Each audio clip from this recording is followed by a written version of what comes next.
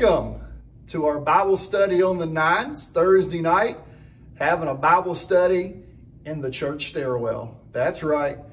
Good camera angle as far as uh, lighting's concerned uh, for this particular time of day.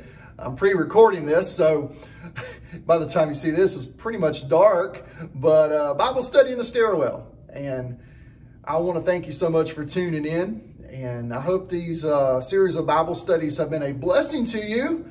And I hope you've been having a good week. And so let's pick up where we left off uh, Tuesday night here in Mark chapter 14, verse 66 through 72, as we uh, looked at Peter and we looked at a rooster crow. And the first time he uh, crowed was a warning to Peter the second time, it was a reminder to Peter the words of Jesus. Then he recollected uh, what went through his mind. Tuesday night, I said that this week of Bible studies was dedicated to our graduates, those who are graduating from high school and graduating from college. Uh, but it, it has implications for each and every one of us in any area of our lives. And the truth and reality of life, though we try to deny it, though our society labels failures and losers, that we got to lose at times. We make mistakes at times.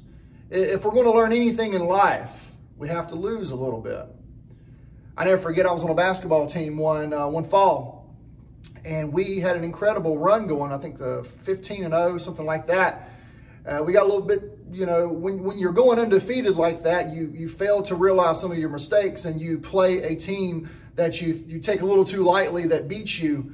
And it, it completely kills that undefeated record, but you learn from that loss of what you were doing wrong so you can make adjustments and keep winning. Uh, that to me, that's what losing, that's what mistakes happen in our life to do is to show us where we need to grow, where we need to adjust things, where we need to, you know, learn more. So no matter who we are, what stage of life we're in, what season of life we're in, we're still going to fail at times. We're still going to make mistakes at times. It's what we do with those failures that mold us and make us and shape us into the people that God wants us to be. But we've got to decide rather to overcome the failure rather than allow the failure to overcome you. That's the choice. I say all the time, it's not a failure if you learn from it. So, centering with uh, Simon Peter, one of Jesus' disciples. He was a man for three years, walked with the Lord, talked to the Lord, learned from the Lord. And at the night before his crucifixion, failed the test shortly before graduation. But I wonder when Peter wept. So let me, let me read the text, our, our centering text here uh, in, in, chapter 14, verse 66. Now as Peter uh, was below in the courtyard, one of the servant girls of the high priest came. And when she saw Peter warming himself, she looked at him and said, You also were with Jesus of Nazareth. But he denied it, saying, I neither know nor understand what you are saying. And he went out on the porch, and a rooster crowed. And the servant girl saw him again and began to say to those who stood by, This is one of them. But he denied it again. And a little later, those who stood by said to Peter again, Surely you are one of them, for you are a Galilean, and your speech shows it. Then he began to curse and swear, I do not know this man of whom you speak. A second time the rooster crowed. Then Peter called to mind the word that Jesus had said to him, Before the rooster crows twice, you will deny me three times. And when he thought about it, and note that when he thought about it, he wept. I wonder what Peter was thinking about when he was weeping. The words of Jesus, the, his failure to deny Jesus his failure to defend Jesus and deny him. I, I want to think what went through his mind was the last three years of spending time with Jesus and all the lessons he learned and all the failures to that point. I want to think that Peter was evaluating his life in light of Christ and embarrassed that he denied him to see just exactly why he wound up denying him when he promised he wouldn't. You see, my friend, that's what failures are designed to do. See, we're not perfect. I mentioned this Tuesday night. We're not perfect. Bad things happen to us inadvertently. Bad things can happen to us circumstantially. But sometimes we bring things on ourselves. We make mistakes. We fail. But understand it's not a failure if you learn from it.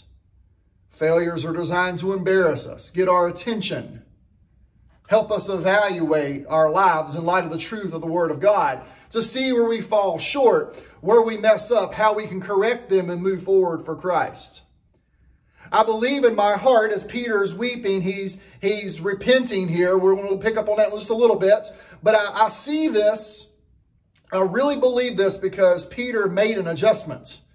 And we see the results of Peter's life after this turning point in the New Testament.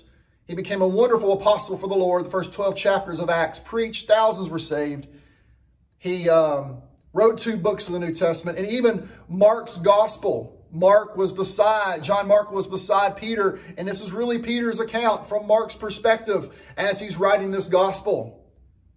You know what? Failure, if we embrace it, if we learn from it, is a teaching tool to help us grow in our faith.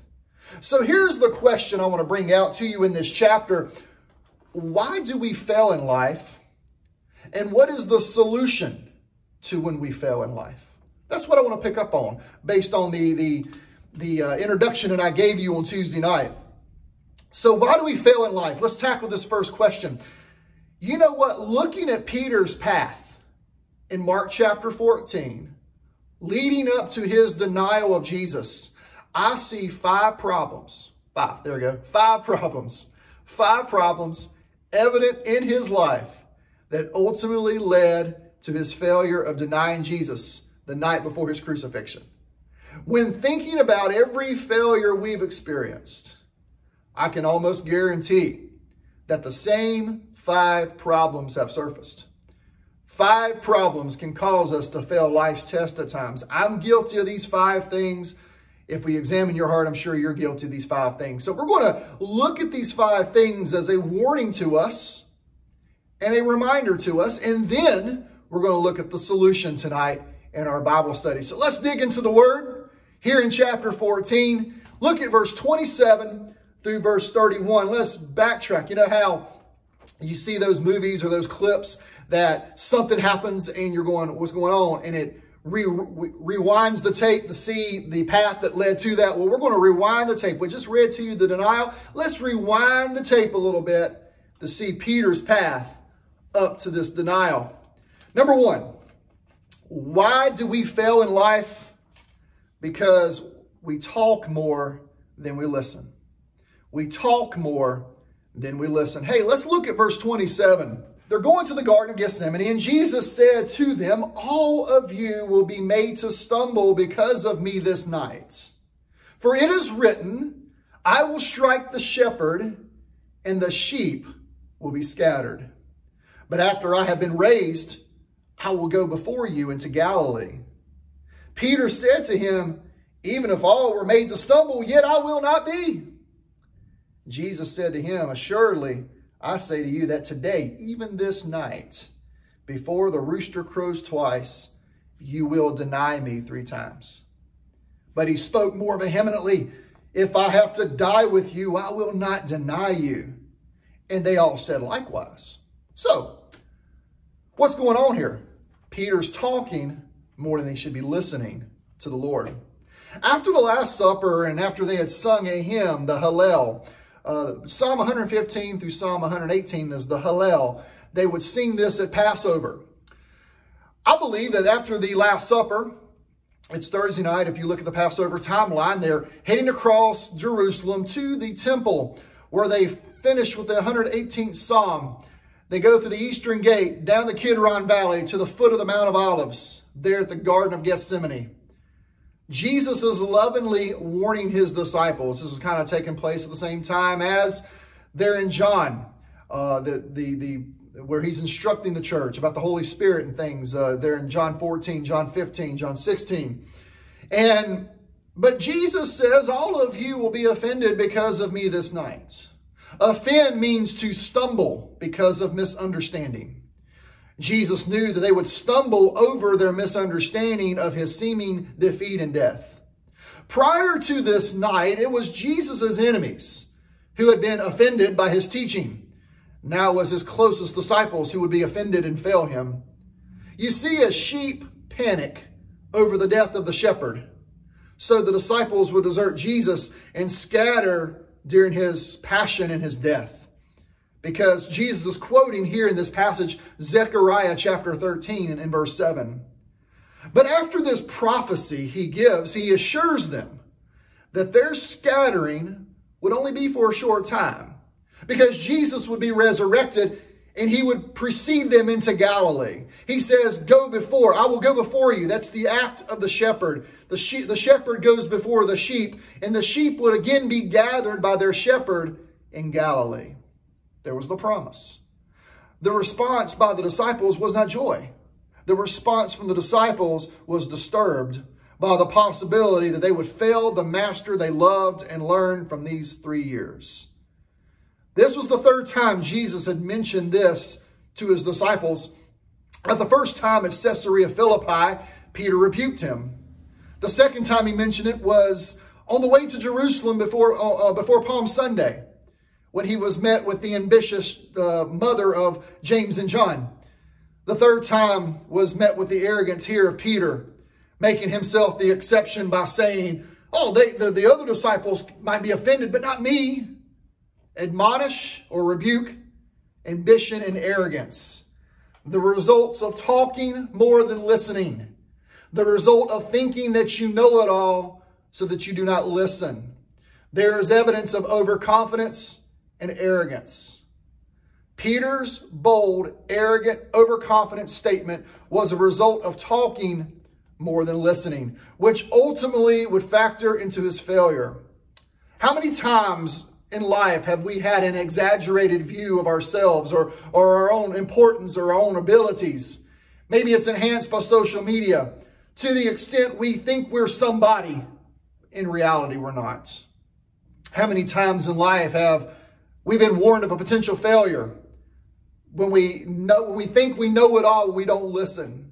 How many times have we failed on the job or in a marriage or in a relationship or anything because we failed to listen to counsel whether it was a trusted friend a trusted pastor a trusted counselor a trusted parent a teacher or a mentor?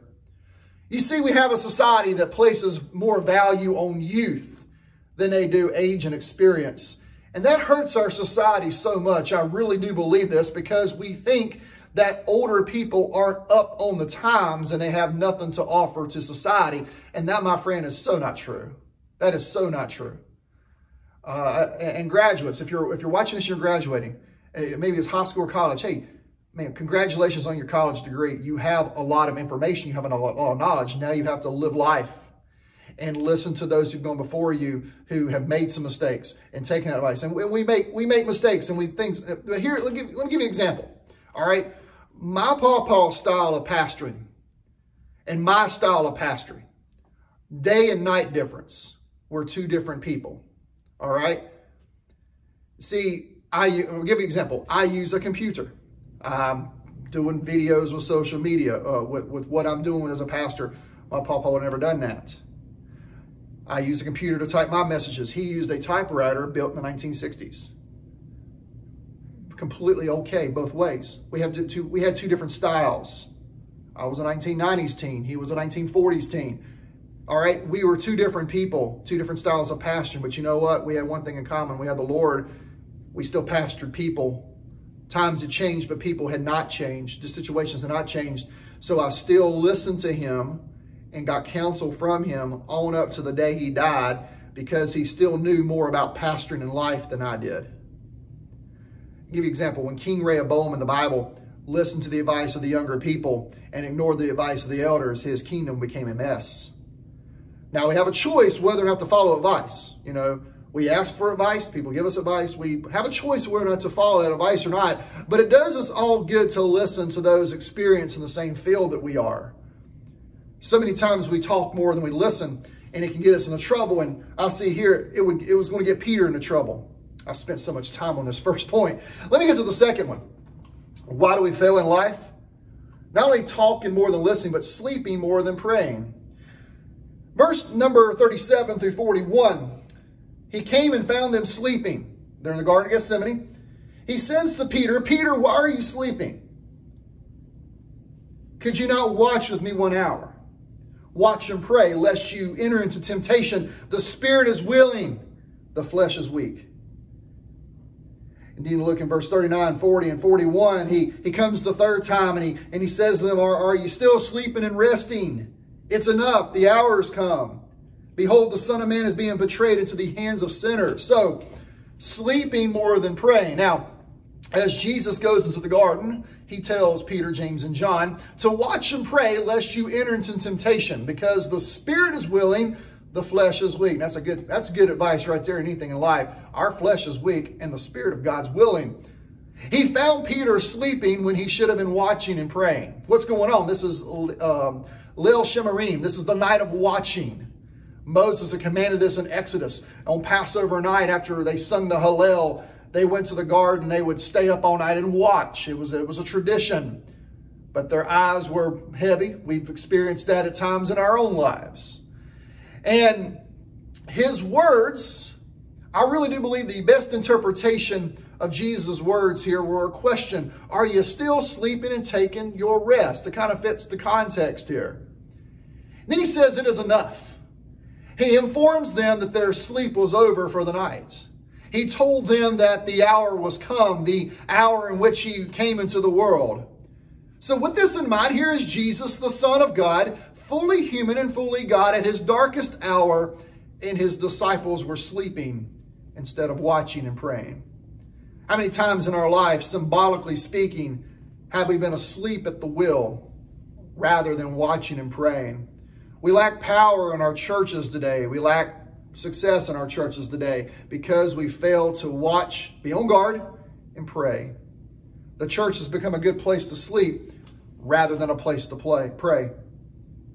How can Jesus' disciples make any impact in this world when they're sleeping rather than praying? Peter failed that night symbolically because he was sleeping rather than praying. I'm not saying sleeping's wrong. There's a time to sleep and there's a time to pray. We lack power and clarity in life because we lack prayer. Let me ask you a question. Do you pray in life before you make decisions? Big decisions? Before you eat your meals? When you get up? When you go to bed? Do you pray without ceasing? Do you watch in life for anything that could derail you? Or have you been rocked to sleep by the culture and all of its messages? So many times we sleep more than we should be watching and praying, and that can get us into trouble. I see Peter on this slippery slope. Number three, talking before listening, sleeping rather than praying. Number three, acting before thinking. Look at verse 47. One of those who stood by drew his sword and struck the servant of the high priest and cut off his ear. A good, a good definition of impulsiveness. I'm guilty of this in my life. I'm sure you may be as well. Acting before you think. That's what impulsiveness is. Acting before you think. When you act before you think in life, you will get in trouble. It will, it can lead to failure. According to this verse in John 18, 10, Peter acted before he thought. Jesus had told his disciples to arm themselves, and they had shown him two swords in Luke 22, 36 through 38. Jesus did not intend that they should be used to protect him. Peter, who was acting out of impulsiveness, swung at one of Jesus' assailants who was there to arrest him, the servant of the high priest, probably intending to sever his head. It may be this man ducked. At any rate, the sword cut only the man's ear off. The incident has relevance to Peter's fear a few hours later when he was recognized as a relative, by a relative of the wounded man. John records his name as Malchus, John 18, 10. And Luke records in Luke 22, 51 that Jesus healed Malchus's ear. Nevertheless, Peter's impulsiveness, and you see impulsive Peter throughout the early part of his, his life, it was part of his failure. And he, he, I think as an older man, we're right in First and Second Peter, he's reflecting upon that. But in our lives, how many times do we act before we think? Maybe something happens on the job and we quit because we don't like it. We quit out of anger. Well, you don't have another job lined up and the bills are coming. Or we say something we don't mean out of frustration and anger, and it comes back to bite us in, in our relationships with people. In order to live life successfully, we must all learn as we go about life to think before we act, think before we speak. If not, others get hurt and we will be hurt. Number four, following more than leading. Look at verse 54. But Peter followed him at a distance, right into the courtyard of the high priest, and he sat with the servants and warmed himself at the fire. So Jesus' command to his disciples in Matthew 26, 31 was that they were to scatter and wait. Peter followed afar off, even to the palace of the high priest, where Jesus was being tried early that morning. He sits down with the servants and warms himself at the fire. What's going on? It spring's a little chilly. Jerusalem's about 2,500 foot elevation. So Peter's following Jesus as what he considers to be a safe distance, yet close enough to have a little bit of information what's going on. Yet he was disobeying the Lord who had commanded him to run away. Allow this event in history to happen. Peter, who was to run and hide instead of sat with the crowd, the priestly servants at the fire pretended he's one of them. I see Peter trying to straddle the fence here a little bit. Following Jesus to the extent he knew what was going on, while also pretending that he was not a disciple, just part of the crowd, maybe out of fear.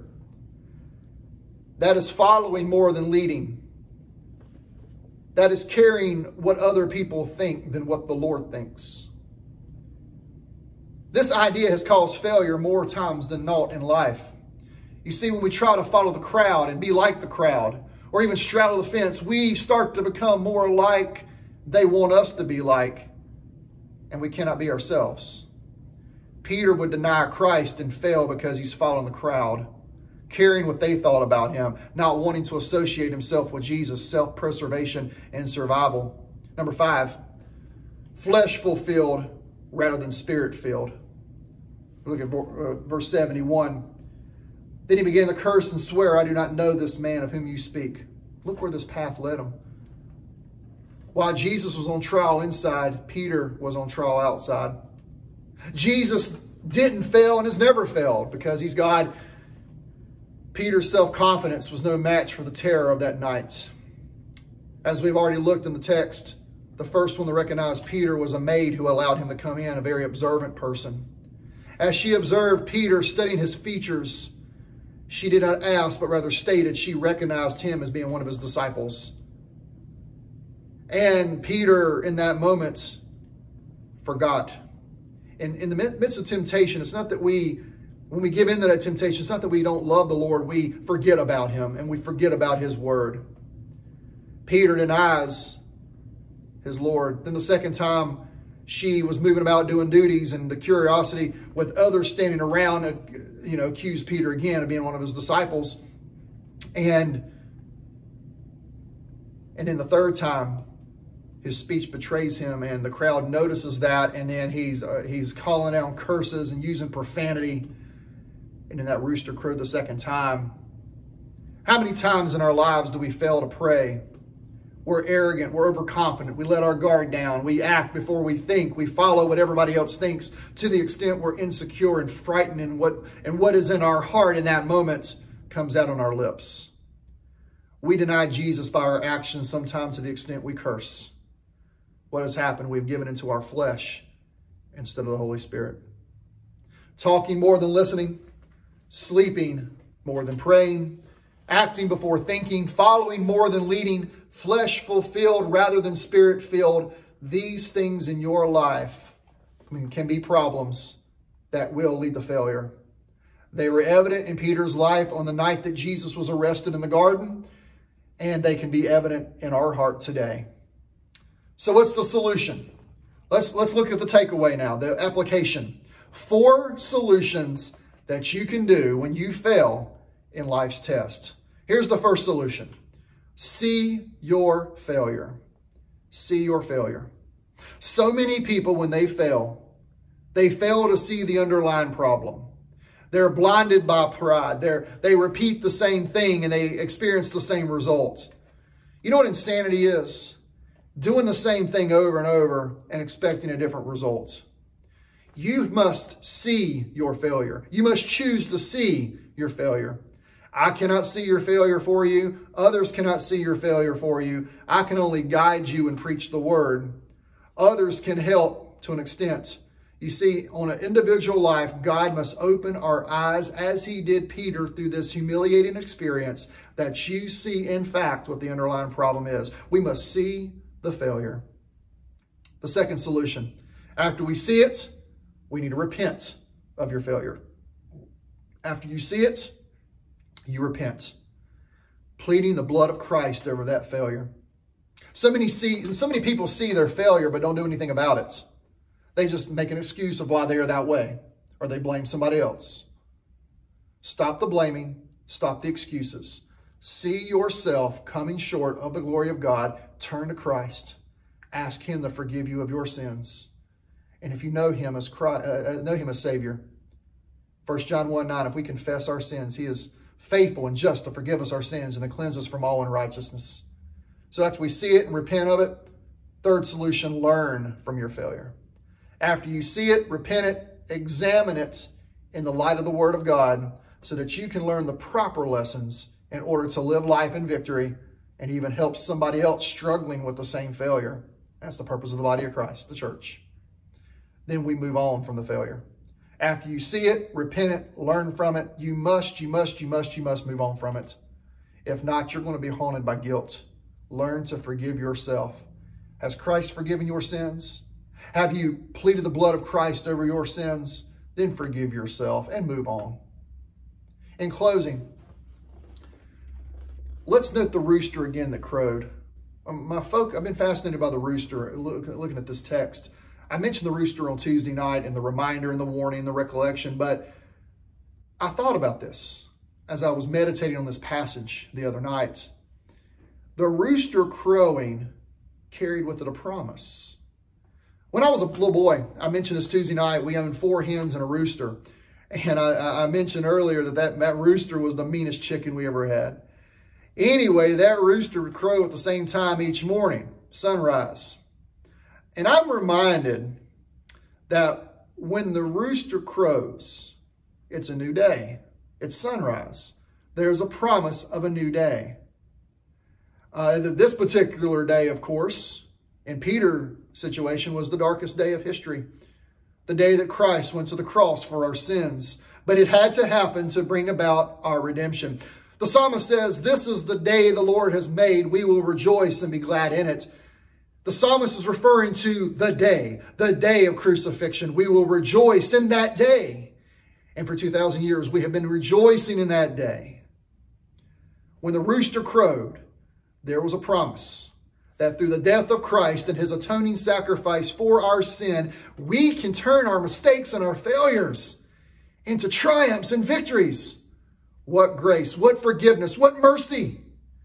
Lamentations chapter 3, 22 and 23, it is of the Lord's mercies that we're not consumed because his compassions fail not. They are new every morning. Great is thy faithfulness. If you're here and you're watching and you failed the Lord, Remember this, the promise of the rooster crowing. Hey, that rooster crowed as a warning. That, that rooster crowed as a reminder, and, and you're recol recollecting. But what happens? That rooster is a promise of a new day, a new chance to make it right with the Savior. Would you do that? Would you do that? Maybe I'm talking to somebody. You've made mistakes in life.